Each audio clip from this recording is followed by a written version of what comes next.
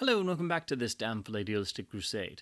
With the iconic Nosferatu turning literally 100 years old this year, which seems crazy to even say, uh, I thought it was time to at least talk about the two primary releases that I think are both important and really wonderful ways to experience this cinematic classic and really a, a, treasure that it's amazing we even have a copy of because, of course, legendarily, uh, it was supposed to be destroyed and every known print was supposed to be destroyed because the film was unauthorized and did not obtain the rights to adapt Bram Stoker's Dracula. So, uh, and this has gone over in the many extras on both discs that the widow, Florence Stoker, uh, really made it a mission in life to try and suppress this film. And, and uh, when there was no money to be made, because the company who made it went bankrupt, uh, to at least get it suppressed and then eventually destroyed. But thankfully, copies made it out and survived. And over the years, it was able, uh, it was the, the ability to reconstruct the film and to its original release version with proper titles and proper color tinting and even discovering the original score and uh, it, its reputation really started to grow by the time uh, that the the sort of sort of copyright infringement furor, I guess, wore off a little bit. And so by the time of the 50s and 60s, when various prints started showing up, and then the film was in the public domain, and then in the video era, things really took off. So you saw untold amounts of video editions floating around of varying terrible quality from all kinds of different sources. And uh, I still remember the first time I even saw the film, it was just atrocious in terms of the quality uh, that was available. So it's still really a revelation that the film has been uh, restored, and, and there are multiple different restorations available and beautiful editions like the two I'm going to be discussing here. Uh, again, it's it's amazing that the film even exists today because it was supposed to have been destroyed and all known copies were supposed to be eradicated. And ironically, most of F.W. Murnau's uh, early work is unfortunately lost. I think one of the great uh, shames in all of uh, the, the losses of silent films is the fact that so much of Murnau's early work is is just gone. Murnau was one of the great cinematic talents, still is one of the great cinematic talents. Uh, just as I think the loss of his early work is one of the great losses for cinema, I think his untimely death after coming to Hollywood and making uh, Sunrise, which is one of the greatest films ever made, and probably my favorite Murnau film, uh, and then winding up uh, his last real film was Taboo. Uh, he died in a car crash, and uh, it really is one of the great losses in all of cinema history, uh, Murnau's untimely death, because there's no telling what he would have done uh, as as the talkie era continued, and uh, once he, uh, you know, what would he have done after sound had fully taken over, and what could he have done, you know, had his career been allowed to progress naturally in the 30s and into the 40s and beyond, perhaps. Uh, Murnau, it's it's impossible to say enough about his genius and what he contributed to silent cinema. But in talking about Nosferatu in particular, I, I have to admit, it, it is a film that it's a little harder for me to get on board with. Uh, it did take several viewings uh, when I first saw it as a kid to, to really get on board with it outside of just the, the creepy atmosphere and the, the use of actual outdoor natural surroundings and not shooting everything on stages and actually getting outdoors with the camera. Uh, I was I was struck most by the the sort of morbid and poetic qualities of the film that I think are really injected by Murnau, getting everything out of doors quite a lot, but also uh, really associating the vampire character of Count Orlok with the plague, with death itself. This is a, something that a lot of the critics talk about in the extras, but I think you can pick up on that really the, the, the first time around because Count Orlok is always seen as with actual rats, so giving you the idea that he is sort of a physical manifestation of, of the plague itself. And in Germany, they had just had a terrible, uh, the, the terrible European flu epidemic, and, and many, you know, countless thousands and millions died of this. So the, these this is part of the, the the theme of the film that a lot of people of the audience of 1922 would have been very well familiar with. So, as with most silent films, you do have to have a bit of context and historical background if you want to get the full impact. You're not necessarily going to get it all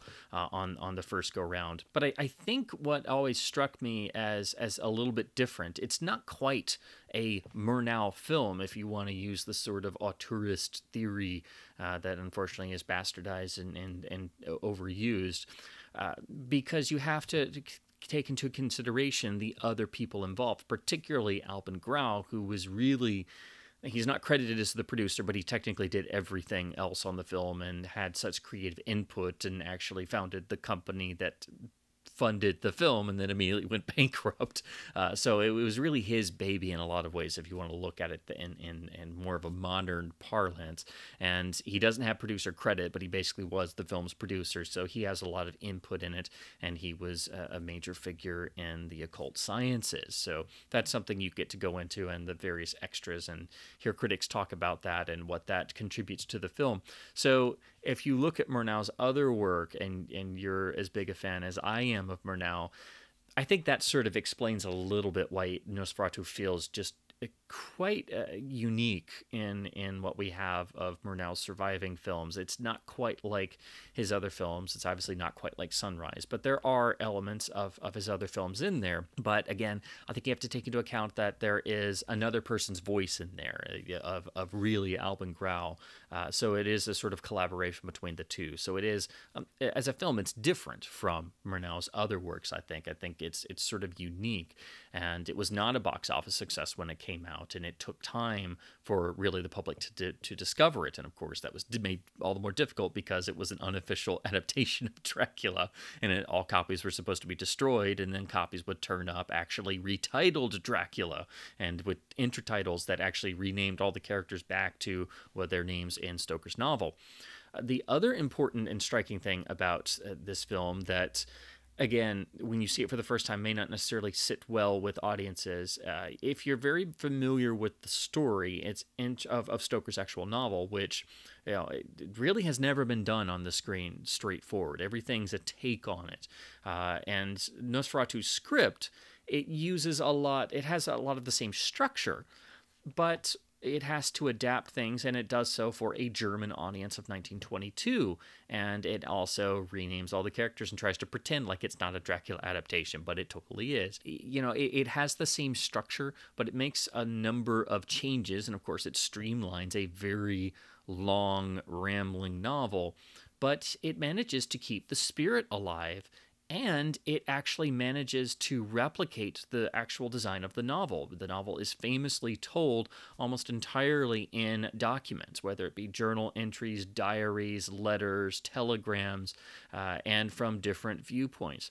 So the film actually does have a, a, actually a very large number of intertitles, but most of those, at least a good portion of them, are actual documents. You have newspaper clippings, you have letters, you have uh, things that seem to replicate that structure of the novel. So again, I think it manages to keep a lot of the spirit alive.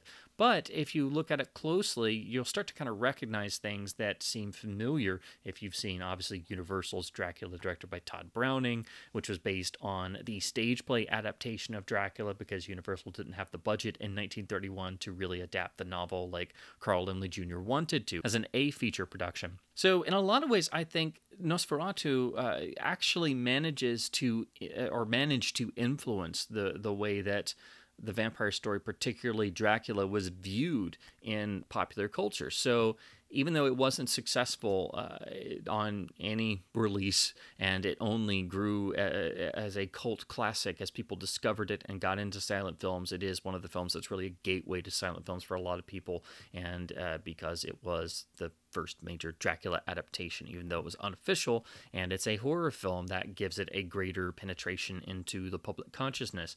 And you could get any numbers of untold, terrible public domain versions on video. Uh, it manages to, I think, sort of set in motion a lot of the ways that the Dracula novel was adapted, particularly starting with the stage play, then getting to the Universal film, and then beyond. So it was viewed very much by people in Hollywood. In fact, fact, Universal themselves had a copy of it and would run it over and over and over uh, to study it, as a lot of Hollywood studios would do with what were then termed, you know, European art films, but they would also start picking talent from them. Of course, Murnau was famously uh, given a contract at Fox and literally brought over to America and given carte blanche to do all kinds of things, again, resulting in the masterpiece Sunrise. So the, the, it was common for studios to be plucking talent and studying what was coming out of the uh, the the real leaders of cinema at the time, particularly in Germany. So, uh, of course, with Nosferatu, they had to do this secretly, and of course, they bought the film rights from Florence Stoker to make the 1931 film. But they had very closely studied uh, the Nosferatu again unofficially. They had a print of it, and they would run it over and over and over. So, Nosferatu actually influences the 1931 Dracula, which of course influences how the world at large viewed Dracula forevermore. So you can feel the echoes of Nosferatu and how it adapts Stoker in the 1931 Tod Browning classic masterpiece. So it's it's it, Nosferatu's influence can be felt everywhere, uh, just like the forever terrifyingly creepy rat-like clawed fingers of Count Orlok, as played by Max Schreck, reaches out for you, the audience. Even though it's now reached its centenary and it's 100 years old now, again, it seems crazy to think that.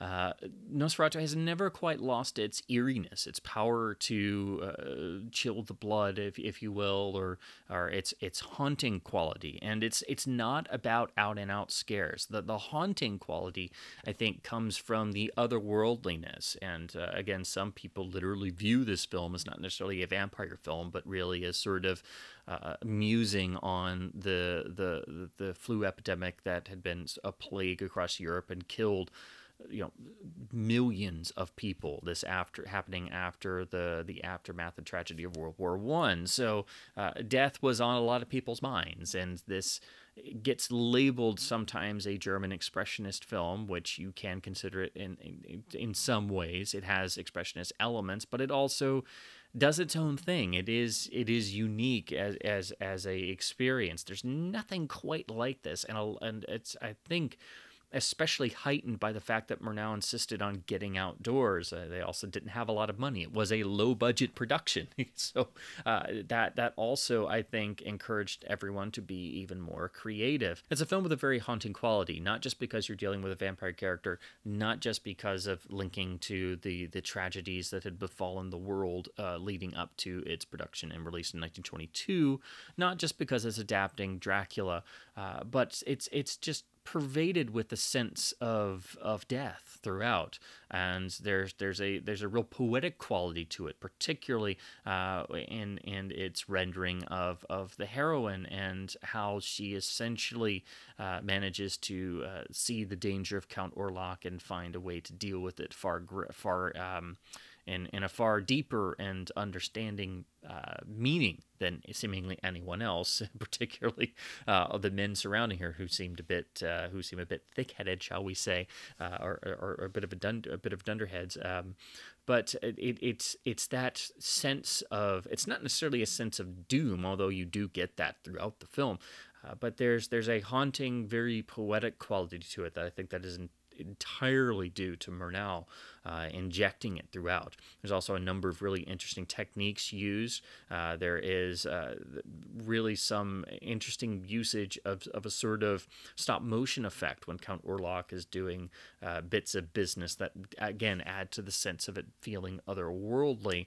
Uh, there's also a really interesting usage of negative imagery to make the surroundings seem, again, otherworldly. So that that sense of eeriness is always there, and it is of course topped off by the absolutely iconic Max Schreck as Count Orlok. The design of the Nosferatu character, uh, which again was uh, largely due to Albin Grau, so his fingerprints are all over this, uh, it, it, burns itself into your brain. It's an image that never ceases to unnerve people.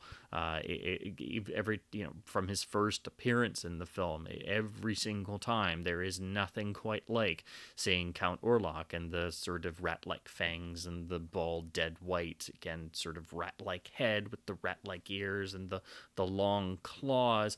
It is obviously 10 billion miles away from the classic idea of Dracula, which was heavily inspired by a stage musician type uh, of character with the tuxedo or cloak and looking very dapper and having, uh, you know, obviously what was immortalized by the 1931 uh, Tod Browning Universal film with Bela Lugosi. That's the image we all have in our heads of Dracula, but in Nosferatu, you know, it's you're getting something entirely different so it's great to spring on people or it's it's interesting to always see people's first time reactions to Nosferatu because it is very different.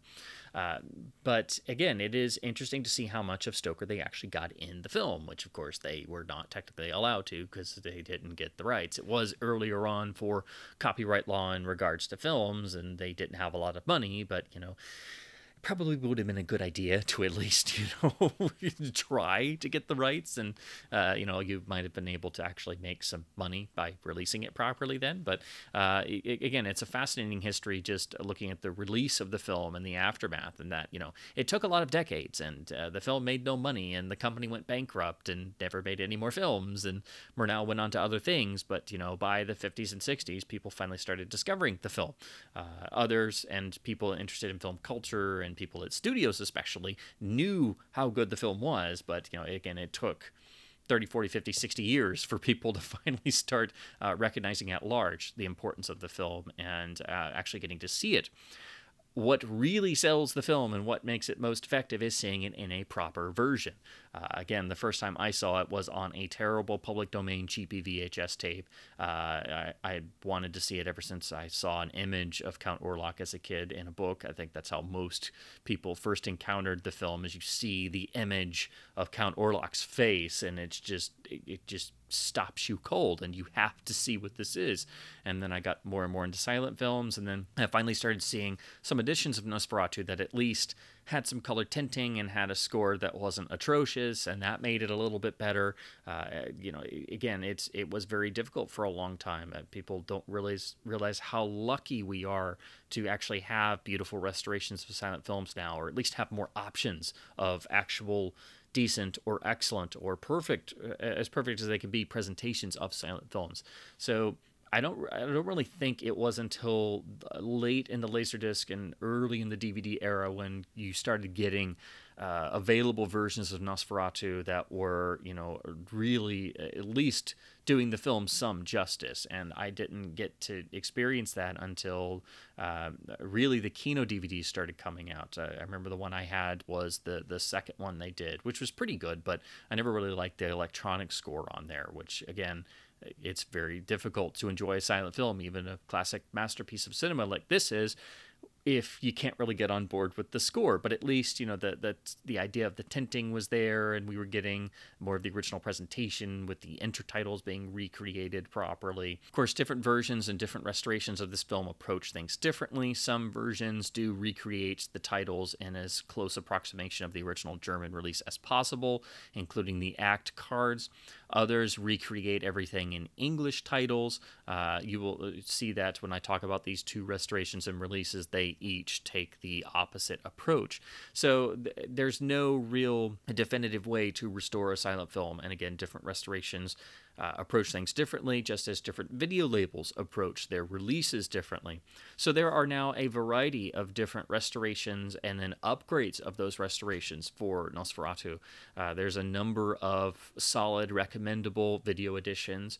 Uh, thankfully, no one has to bother with the plethora of atrocious and terrible public domain editions that exist and seem to still populate stores across the world, uh, or uh, the the terrible versions that are online or get uploaded to YouTube, for example, which are of the same quality, sometimes just literally taken from that, or uh, just because it's free does not mean that it is a good version to watch. And I to say that I strongly advise anyone who has never seen this film to never look at any of those, uh, it does not even begin to describe. I wish I had been able to look at these restorations and see the film this way the first time because it definitely would have helped. Because uh, the you know first couple times I saw that saw Nosferatu, it was just it was a real struggle because the versions were terrible and the scores were terrible and the, the tinting was either non-existent or really bad or it was from a 16 millimeter copy with you know just a, a, total mess. Uh, just like phantom of the opera and any of the other silent classics that most people know uh, that have millions of public domain cheapy releases. So now we come to what you have in the two current Blu-rays available that I think are of merit from the two different restorations. Now, uh, these are upgrades of previous restorations. These are the best available and most current restorations of the film available. Uh, we have the uh, the official restoration done by the Murnau Institute, or the F.W. Murnau Stiftung, if I'm pronouncing that correctly. Uh, I'm, I'm always terrible with pronunciations, I do apologize. Uh, and then the other, which is actually an, an HD upgrade of the Photoplay Productions restoration, which was originally done in 1996 I believe, or the late 90s. And like the uh, BFI Blu ray of Phantom of the Opera, the BFI Blu ray here is actually a brand new 2K scan and upgrade in HD of the photoplay restoration. So it's bringing that work into the HD realm with a new scan and new presentation. So again, both of these build off of previous restorations, but they're now done to the fullest modern capability. And the only way that I think either one would be superseded would be if, because it's the centenary and there might be an ability to eke a little bit more out of the elements, uh, if somebody was to do a brand new 4K restoration in terms of making sure that we have a 4K UHD release and 4K DCPs for theatrical screenings for the film's 100th anniversary and beyond. So until something like that happens, like of course we're now getting with with uh, Cabinet of Dr. Caligari in 4K from Eureka Masters of Cinema this year. It is possible for that to happen with Nosferatu, but it would require new work because I don't think anything has been completed in, in 4K, obviously. But there is the distinct possibility for that, and obviously I think it would be a no brainer since it is one of the most important and iconic silent films of all time, and it's not like it wouldn't sell copies because it is part of the founding backbone of the horror film genre. So uh, the two restorations and the two Blu-rays you have available are both in the UK. Uh, I will note here in the U.S. the uh, the Murnau restoration that's on the Masters of Cinema release is available from Kino Lorber, but uh, this isn't me, you know, uh, attacking the label or anything. But I must stress, whatever you do, do not buy that disc do not watch that disc. And the reason why is silent films are obviously done at differing frame rates, and that wreaks havoc with Blu ray because for some stupid, idiotic reason, when the Blu ray was developed, they didn't worry about things like that. And so you can't have differing frame rates outside of the normal 24p and 29.97 or 30 frames per second uh, video standard. So you have to do trickery and, and use one of a variety of methods to get a silent film at, say, 18 frames per second or 20 frames per second or even 16 or 17 frames per second, depending on what the actual frame rate is. You have to use different uh, methods to get that encoded on a Blu-ray disc or, you know, get it encoded for DVD, whatever format it is, you have to work with it and encode it in a number of different uh, use use one of a number of methods to actually preserve the original frame rate. Uh, sometimes, well, most of the time, it's done by repeating frames, uh, like every third frame gets repeated once, or things like that. Uh, different things happen. Some people prefer keeping a silent film interlaced in the transfer, even as an HD release. Sometimes that's actually more effective than having a progressive silent film release. Uh, it just depends on the format you're working with uh, how good the encoding is, what the master is, what the frame rate is. In short, there's a lot of variables, so it's not an easy thing to do to transfer a silent film. Unfortunately, on the Kino release, even though it's using what's on the Masters of Cinema, it's the same master source from the restoration. The Kino apparently, what it seems to do is literally drop frames instead of repeating frames or or or doing something else. So I don't know the exact numbers, but somebody discovered with the Kino release, you're you're losing, you know, roughly about a third of the film because it just drops frames continually. So whatever you do, do not pick up the Kino release, you have to get one of the Region B titles I'm talking about. And if you want the official Murnau Institute restoration, you do have to get the Masters of Cinema disc. And it is very inexpensive and really better than the Kino in every way. It's also better encoded.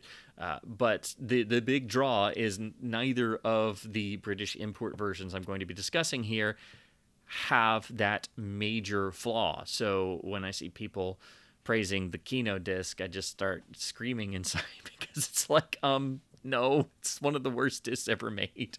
Um, because it literally drops, you know, endless amounts of frames and that's you know kind of a problem when you're looking at a video release or a, or a disc master or something you know you, you kind of want the whole film to be there. Um, so yeah, I'm very glad I never picked up that release, and I'm very thankful for somebody actually noticing that and and posting about it. And you can uh, find out information online. I will link to the uh, some of the technical info below if, if you're curious, or if you happen to own the Kino disc, uh, you'll you'll know what I'm talking about. So uh, whatever you do, just eliminate that from the equation. Uh, don't you don't have to pay any attention to that because you can get the Masters of Cinema release instead. So I would strongly advise anyone interested in the film to just go ahead and get the Masters of Cinema release, which is of the Murnau Institute restoration. So it's the same thing that you get on the Kino disc, but it's properly and better encoded. Uh, but the the big draw is the fact that you're actually getting the entire film and you're not missing giant chunks of the film, which the Kino literally drops. So uh, again, nothing against Kino, but it was a it's a major snafu and again one of the worst uh, examples of a problematic Blu-ray that there is. Again, I think it's one of the notorious examples of just a poor disc. It is one of the worst Blu-rays ever made, uh, simply in that regard alone. Uh, again, nothing against the label, but it is something that should have been corrected and fixed, and that disc should have been recalled immediately, and no one's ever done anything about it. So avoid that disc, whatever you do. Now, in terms of the British releases, you will need region free capability. They are both region B locked titles. However, they're both very inexpensive, as I mentioned before, and region free capability is actually very inexpensive these days. I got my own player. Uh, some players you can get uh, will still work with a sort of remote trick by pressing a certain bu- button combination. Uh, you can get modified players. Uh, they, they, are out there. You do have to do a little bit of research, uh, but it is very much easier to do now uh, with things being much more available than they were in the DVD era, and there are less region codes to deal with. And you can also get uh, players that will do PAL to NTSC conversion. So if there's a PAL extra on a Blu ray, for example, uh, you can get a modified player that will convert it so you can actually view it on your television because you can't do that with native PAL material if you're not converting it and you're here in the US and it's not NTSC. So uh, that is something to note, but I think with Nosferatu, there's really no other choice because these two releases are really the only two releases you should be concerned with. Now, the Masters of Cinema is. Uh, I think it, it, this disc in particular is so well done and so important and such a incredible restoration of the film that I do think it is one of the essential Blu-rays of the entire format. I think uh, this is one of those select titles, like their release of Caligari, that was also done by the Masters of Cinema. I think it, this disc is a must-own title for any person interested in the history of cinema and of course horror films as well but it's so beautifully and perfectly done that there is there is nothing wrong with it. I have no quibbles, no qualms whatsoever, uh, save a personal one, which I'll get to when I talk about the BFI release. So, the Masters of Cinema release did have originally a fancier special edition steelbook that sold out very quickly, uh, but it has the same art as this. So here we have the beautiful original poster artwork here done in the typical Masters of Cinema style with their clear, sort of thicker UK style case I really love what MOC or Eureka or whichever company name you want to use. I love the Masters of Cinema line. I love everything that they do. You get the lovely spine. All of these have their custom spine numbers. Then you have the rear with the lovely description and the extras and the technical specs. Again, this is Region B lock, so you will need the ability to play Region B titles. We get to the interior. The disc art carries over the poster artwork, And then the booklet is a really substantial one. This is a nice, hefty book the original artwork on the front. This actually clocks in at let me see the page count. Uh, it's you know it's over 50 pages long. Uh, the essays are really well done. Uh, we get all kinds of historical background and then notes on the restoration of the film and the technical presentation specs. Uh, it is loaded with stills throughout. The paper stock has a nice glossy feel to it. It has a premium sort of feel. Uh, the text is very readable, and you know, even though it's on the smaller side, uh, it is still very legible, very easy to read, and this really is done, uh, you know, as a reference work. A lovely shot of Murnau there. Again, they always get nice uh, publicity and set stills to include the booklet where possible. And then I always love Eureka putting in the technical notes and making sure that people are actually watching these in the correct aspect ratio and giving pictorial examples of what a stretched or cropped image looks like.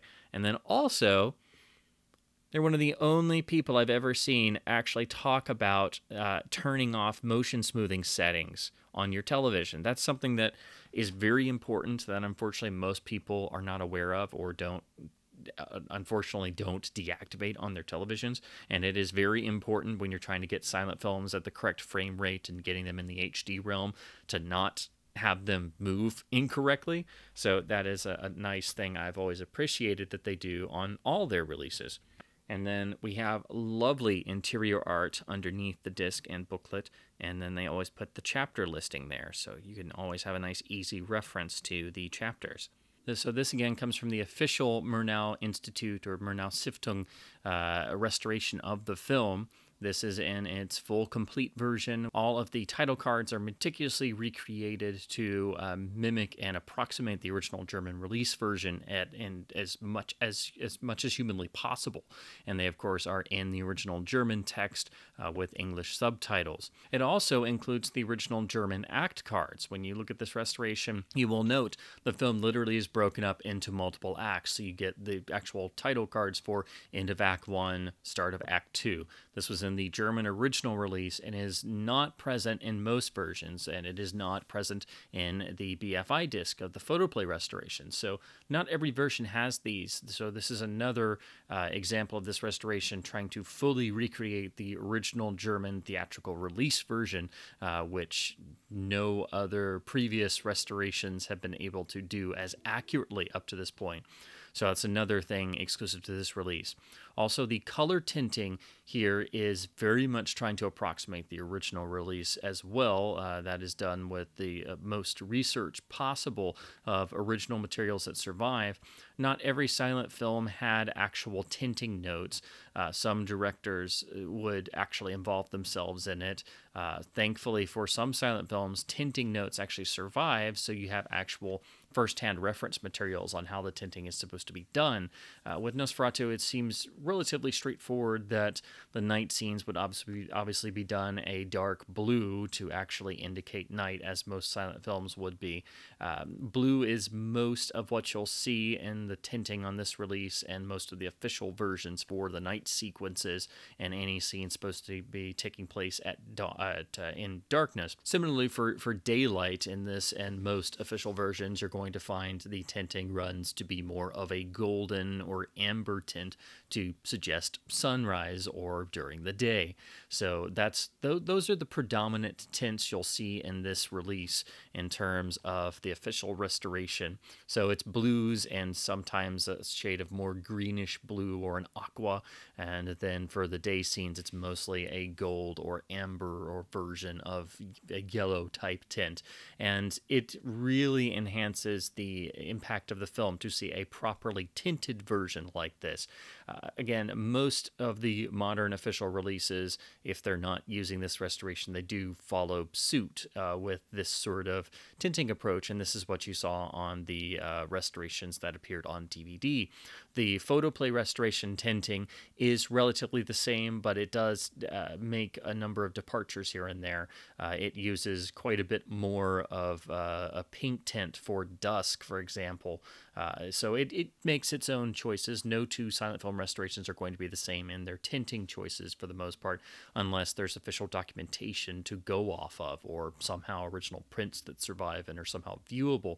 Uh, but for, for the most part, the tinting between the two restorations is pretty much on the same page. Uh, it is the way you want to see this film. When you see it in black and white, it does lose something, particularly all the night sequences because they are shot day for night. Uh, they're just, you know, obviously broad daylight and it it looks very weird when you see this film in one of the multitudes of terrible older public domain transfers where there's no tinting and the print source isn't very good. So the tinting does absolutely help. Now, in terms of the audio, this is actually a, newer re recording of the film's original score. It is presented in lossless stereo and lossless 5.1 DTS HDMA codec. Uh, it is a beautiful score. It it perfectly suits the film, and thank goodness we finally have a modern restoration that actually has a great score. Uh, the fidelity is really wonderful. Uh, in terms of the difference between the stereo and surround presentations, I have to admit that uh, for the most part, for silent films, I do always tend to prefer the stereo presentation. Usually, when they do 5.1 up mixes of, because most of these scores are actually recorded in stereo, uh, most of these tracks are going to be 5.1 up mixes. But a lot of times, what I've found is that the 5.1 version of a silent score it spreads the sound out a bit, which is nice and better eh, better for home theaters or actual theater halls to really spread the sound around. But you do lose some of the clarity of what you get in the stereo in terms of the instrumentation and the, the the, overall impact of this track is already such that eh, I don't really think you need the 5.1 bump. Uh, if you have a home theater setup, you can A and B between the two. You can just toggle them with your remote, and I think you'll notice the difference, particularly on higher end equipment, and especially if you have really good main speakers. That I do think the stereo is eh, actually a little bit clearer. And eh, again, that's usually what I find the case to be in silent presentations. Plus, I just, I've never really enjoyed a silent film with a surround track because, again, most scores are recorded in stereo and most of these scores are usually older recordings and they're having to be upmixed. And I do think they usually lose a little bit of clarity in uh, have, being able to spread the sound around. But it may be on your setup that the 5.1 works better for you. I just encourage people to actually uh, just check bet- toggle between the two uh, to see if it makes much of a difference on your end and your own personal setup. But the score is the same and sounds excellent both ways. I just prefer the stereo presentation. Now, on, to the extras, which is really a fantastic package. So, we have two audio commentaries for this release. The first is by David Kalat. This is a jam packed, really energetic commentary. He goes into every single facet of the film's production, also the release history, the battles with Florence Stoker to get the film suppressed and eventually destroyed, how it sort of came back to life like a vampire. Uh, talks about Murnau and Grau, especially, and Grau's importance to the film that's been so frequently overlooked, uh, the actual real world uh, production schedule, the fact that it was a low budget film. There is not one facet of this that uh, does of this film that isn't covered in this commentary track. It is done with a really good pace to it, but it's never you know breathless or anything. But there's there's never uh, you know uh, dead space or dead air. It is one of the best critical, informative historical commentaries I have ever heard for a film. It is a it's in that special like you know legendary tier of commentary uh, it's an absolute essential listen and it's so good that all of the other materials because they go over a lot of the same same bits they, they kind of get overshadowed by this commentary because it is so jam packed with information. So it is a must listen commentary. It is the best extra of all the Nosferatu extras, uh, even though all the other extras are good. Uh, this is why you get this disc. This commentary is that good. It is a must listen for all cinephiles, all fans of this film, and all who want to know more about the making of Nosferatu and about Murnau and about the German cinema. It is a an incredible commentary track. It's the type of commentary track you listen to because it's film school in a commentary track. It's one of those. It's one of those really special ones. And it's all done in a manner that's very easy to understand and actually keeps you engaged. And you can listen to it and actually listen to it, not even be watching the film, just listen to the commentary track. It is that good and that essential. So it's kind of good in a way that we have a secondary commentary, even though it definitely gets overshadowed by the first. The second commentary is a more conversational one between historians and critics R. Dixon Smith and Brad Stevens. And they basically have a dialogue during the film. They cover some of the same information, obviously, because it's the same film, but it sort of helps you unpack some of the the just a massive amount of details that was in the first commentary track. So when you listen to the first track, it's very helpful to actually listen to then immediately go into the second track because it helps you unpack some of the stuff. And they also uh, will directly reference the film, and you get that sort of nice conversational dialogue between the two. So I do actually find uh, the second commentary track is also rewarding, but you know it definitely gets overshadowed by the first one's sheer volume of information. And if that wasn't enough, we get an entire, nearly hour long documentary entitled The Language of Shadows, which is about uh, Murnau's early years and Nosferatu's production. So, again, some of the same material gets covered, but again, it's, it's a whole nearly hour long documentary and is well well worth your time uh, so again the, it, the, oh, that already just adds to the uh, very extensive supplemental coverage then there's also a new interview with the author of the bfi film classics book on nosferatu kevin jackson he covers again some of the same material but it's it's a really nice piece and a nice one-on-one interview that's pretty lengthy uh, then uh, there's a little uh, video bit by Abel Ferrara, of all people, actually talking about the film, which was a big influence on him. But it was nice of him to do that, and it's a, one of those nice little okay here's this you know famous director talking about this film for a couple minutes. Uh, so that's there as well. And then it goes on to credit uh, the newly translated english subtitles with the original german intertitles and then the 56 page booklet that i already mentioned. So that is the uh, package for Nosferatu in the Masters of Cinema edition. I really do think this is one of the essential Blu-rays for any collection. Uh, it is absolutely perfect in every way. So that means, of course, why am I going to now talk about the BFI disc and try to encourage you to look at that as well? Uh, since this is already, I think, pretty much perfect. Uh, it is missing one thing that's in the photoplay version that I, I really enjoy, and the photoplay version has some really great strengths of its own. So the photoplay restoration was originally done a number of years ago, and then, like the BFI disc of the Phantom of the Opera, this BFI Blu ray presentation is a brand new 2K scan of elements, and then they recreated their original restoration, and then we could get this lovely Blu ray presentation. So this does have different uh, a different approach than the uh, Murnau Institute version on the Masters of Cinema release. This does have uh, a color tinting approach of its own. It is largely very similar, but different in ways. It's also a different print element that's being used. So I think I think this one kind of gives you more of the effect of not necessarily a warts and all approach, but you kind of get more of that feeling. So it is it is a little rougher. It's not as shall we say technically pristine as the other restoration, but in some ways I kind of like it a little more because it does give you a, a little bit more of a, a, gritty feel, I guess, if you will. And this is only when you're comparing them directly. This is still a fully restored uh, presentation. Don't get me wrong, uh, but it definitely I think gives you a little bit uh, a little bit more of the feeling of the the wear of age and time. Uh, it does, as I alluded to before, it doesn't recreate the German titles. It actually u- it uses English titles, but it does recreate the bits of newspaper and things, and it really tries to continue the effects the film intended, but it is not in German for all the title cards. All the title cards are in English. So um, I'm still kind of torn which which I prefer. I kind of lean towards still having the original German with subtitles, but you know it does make it easier seeing it, not having to read subtitles. But um, it's still a great presentation. But again, I I still kind of lean more towards how the uh, the other restoration keeps the original German text. Um, but that's that's the the main technical difference between the two. This is a different restoration with different approaches, but it's largely achieving the same goals. Again, this is also a 2K scan. It's a modern HD restoration presentation, just updating the original photoplay work. So it is still a perfectly valid and proper way to see the film.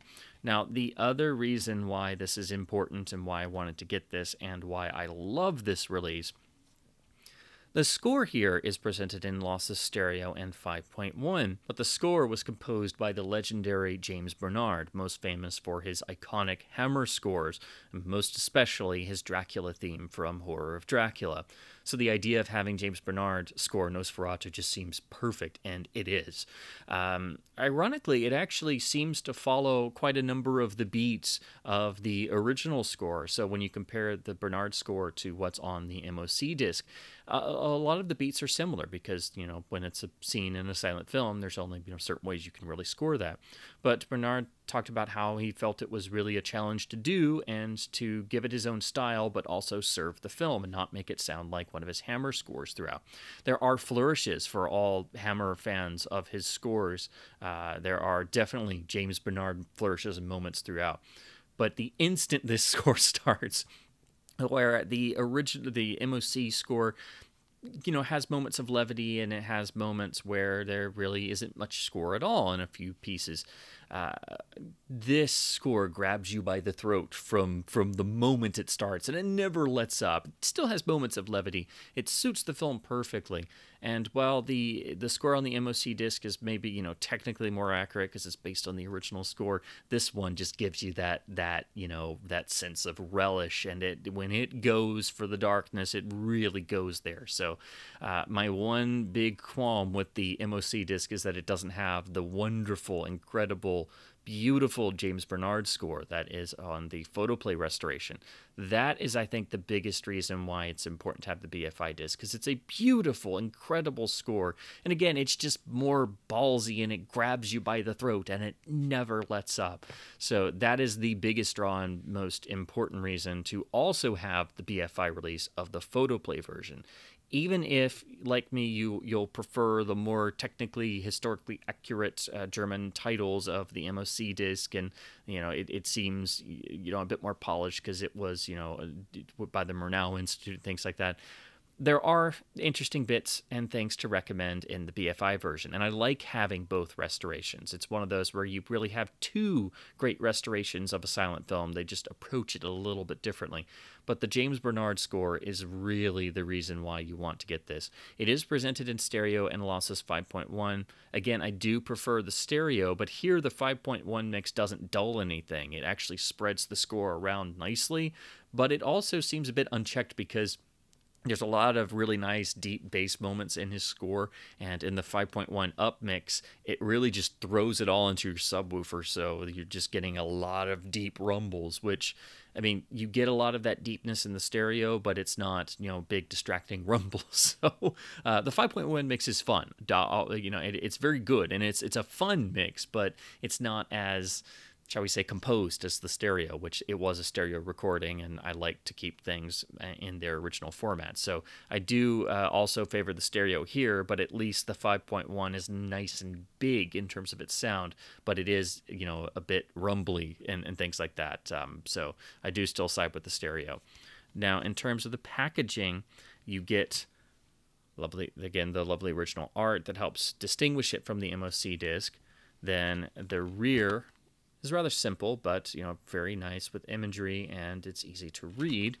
Then the interior, we get the film's most iconic shot, uh, colorized a little bit, and it looks really nice on the disc label. But we also get a rather nice and rather stuffed booklet. This one's actually a little bit bigger, so it fits in the case, but it's just as well done. Nice, very glossy paper, lovely images. We get this lovely essay as well going into a lot of the same detail, but you know it's it's so well written that you know I actually enjoy reading both booklets uh, when I revisit the film.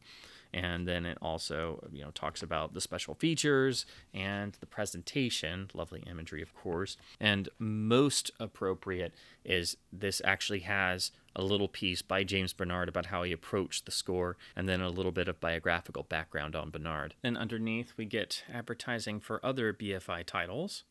Now, in terms of the extras, some of these will cover the same ground, but the main one is a an older piece where you have Sir Christopher Frayling talking about Nosferatu, and because he's Sir Christopher Frayling and he's always fascinating, even though he's going over the the same material you'll find covered in the MOC disc, it's still a really nice piece. It's about 25 minutes long, and of course he starts going to town and we're all just sitting there fascinating as uh, fascinated as always so that's a really nice piece even though again it's going over a lot of the same information, uh, but it's it's a really nice uh, interview. Then, interestingly, the, uh, the, the other two main pieces are HD uh, transfers or restorations of two short films. One is 1945's Le Vampire, uh, which runs nine minutes, and it's basically as the ed- as the extras credit. it's a study of the South American vampire bat, uses an allegory for Nazism, which was then, of course, sweeping through Europe. The other is the 1904 short, The Mistletoe Bough, uh, from uh, running eight minutes, which is uh, the uh, credited as the oldest version of a of a Christmas ghost story, uh, restored by the BFI with a new score. Those are really interesting inclusions. they're not necessarily 100% linked to the film, but they do have you know, obviously a link with vampirism in one and then the sort of otherworldliness of the other. And they are in HD and they are cleaned up and restored. So any sort of excuse to have vintage material that would otherwise not be seen is really welcome. So that's a really nice exclusive touch that they didn't have to do in this release. Uh, then there's a really nice image gallery of uh, production stills and uh, pre production imagery and design and artwork, which is really nice. Uh, and then, of course, we get the the full booklet that I already went over. So that is the BFI release. And again, it stands on its own, even though the MOC disc is already excellent. So, of these two releases, which do I think you need? And uh, you, I mean, to be quite honest, the MOC disc is a must. It is one of, I think, the best Blu rays ever made. But the photoplay restoration has really nice, interesting, exclusive pieces. But most of all, the James Bernard score is absolutely wonderful. And I wish it was with the the restoration on the MOC disc with the German intertitles. I think it would be fascinating to see this with the James Bernard score, but it was composed for the photoplay version, which runs slightly different because different restorations have different runtimes. So uh, I hope one day uh, there could be a version of this restoration from the Murnau Institute with the photoplay James Bernard score. But as it is, I think both presentations are excellent. I think uh, both in picture and sound, both are really the only two ways you should experience Nosferatu. And I think in terms of the extras, there are some nice pieces on the BFI disc that actually complement what's on the MOC disc. So really, I think it's good to have both. They're also very inexpensive. They're they're usually about 15 pounds when you're looking at them on UK retailers, but they're frequently on sale for closer to 10 pounds, and sometimes the BFI disc is less than that. I picked this up a number of years ago from uh, I believe it was Amazon UK, and it was only like four or five pounds, and of course that's still very cheap even when you do the currency conversion. So this one frequently goes on sale for even less than the MOC disc. I think either one is a perfect way to experience the film, but if you were to just have one, it has to be the MOC disc uh, because it is the definitive archival presentation as it stands, I think, and the uh, the extras are really phenomenal, particularly the audio commentary by uh, David Kalat. It is a must-listen track, one of the great commentaries in all of commentaries, I would argue but the BFI is also excellent. So if you just have the BFI release or this is the version you pick up, it's still an excellent way to view the film. And the James Bernard score is really phenomenal. And I do actually prefer it to the, the score on the MOC simply because it really grabs you by the throat and never lets go. Uh, but I love both scores. You know, and thankfully, there are now finally two great presentations of this immortal work that can start to wipe away all my years of memories of terrible copies that I saw growing up. Uh, so we do have two great presentations that are both admirable, and uh, I, I think these are what you should view the film with do not go with any other release. There is no other release that comes close or even approaches either of these, and do not go with the US Kino release. So I, while I, it is something you will have to be able to have the ability to play either disc because they are both region B, I do think this is one of the uh, perfect examples of why you do go region free here in region A. Uh, these are both very affordable, essential versions of one of the great classic iconic films and really the only versions you should be considering or viewing. These are really uh, where nosferatu is able to live once again so that is the moc uh, edition of nosferatu and the bfi edition of nosferatu both from region b both absolutely worth your time. And as it stands in 2022 for the film's 100th anniversary, these are the definitive presentations of the film as it stands today at the, at the again the birthday of the film. So I think now is perhaps the perfect time, with it also being October, to perhaps once again visit our old friend Count Orlok and his very, very, very extraordinarily creepy castle and wonder why any stray traveler would wander in, except with the entire idea to once again be swept away and mesmerized in a symphony of horror that is Nosferatu. So that's my review of both uh, Region B presentations of the classic masterwork Nosferatu. Uh, I think these are definitely the way to go. I don't think there is any other release to even consider. Uh, and this is definitely an example where you really need to be region free in order to actually enjoy the best versions of a classic masterwork available. Uh, there is no equivalent release here in the US that is even advisable. Again, the, the Kino is technically flawed and should be avoided.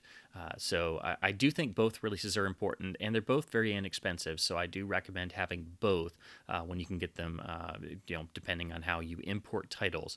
So um, as as usual, I hope this has been fun and at least somewhat informative to once again hear me babble on about classic film masterworks. And as always, keep supporting studios and, and incredibly important film preservation work by buying titles on physical media to show that you support this incredible preservation of our cinematic heritage and culture and keep your disc spinning to help keep physical media alive. And thanks ever so much for watching.